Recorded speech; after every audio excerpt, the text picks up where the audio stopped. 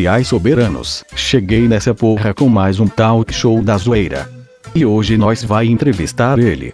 Que já jogou na seleção, quando a seleção era respeitada, quer dizer, quando não tomava de sete. Que bate falta pra caralho.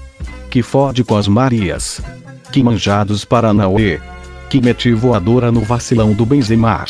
Quando o grave faz bum, bum dela desce. Bum, bum dela desce. Que manjar nas profecia. Isso mesmo, Hernanis. Primeiramente, mano, se é foda pra caralho. Obrigado. Profeta, quem é o culpado por São Paulo ter passado por essa má fase no ano? Presidente e. e da diretoria. Mesmo perto da zona de rebaixamento, conseguimos fazer algo que nossos rivais da segunda não fazem nem no G4. O que você acha que é? O estádio lotado. Isso mesmo, temos os melhores públicos.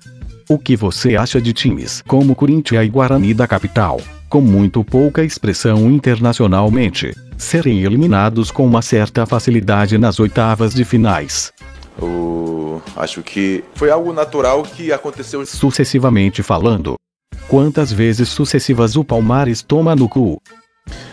Olha, eu costumo dizer que sucessiva sucessão de sucessões que se sucedem sucessivamente. Quando você retornou ao Brasil, você ainda tinha os contatos de umas minas gostosas por aqui. Já tinha tido alguns contatos. Qual cor você mais odeia? Verde, né? É verdade que quando passa alguma coisa sobre as bichas do Corinthians na sua televisão, você joga a TV pela janela. Não pensei duas vezes, foi tudo muito rápido, até porque também já estava fechando a janela. Você gosta de beber muito Danone no final de semana, igual a Luizio Chulapa. Tu tá, tu, tu tá ligado todas as coisas. Você está pronto para jogar GTA V online? Primeira pergunta. Eu acredito que eu estou pronto, né? Acredito que estou pronto. É, ritmo de jogo talvez falte um pouco. O Corinthians é um time pequeno, rebaixado, fundado nessa década e que não tem nenhuma expressão no futebol sul-americano.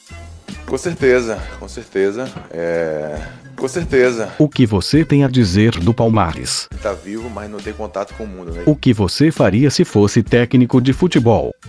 Você dá a bola pra criança, coloca dois times lá e deixa jogar e. né? Você quer jogar Minecraft? Não faz sentido pra mim jogar, eu não quero jogar. Então, O que você tem a dizer sobre ter cravado a chuteira no peito do Benzemar?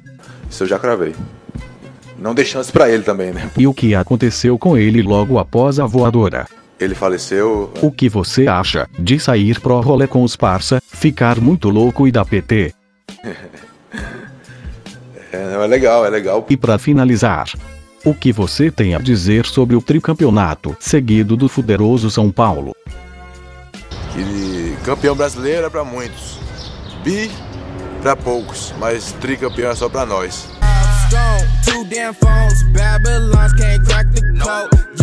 E encerramos aqui mais esse talk show da zoeira. Comenta quem você quer que seja o próximo entrevistado, deixa o like e se inscreva no canal. Valeu, falou!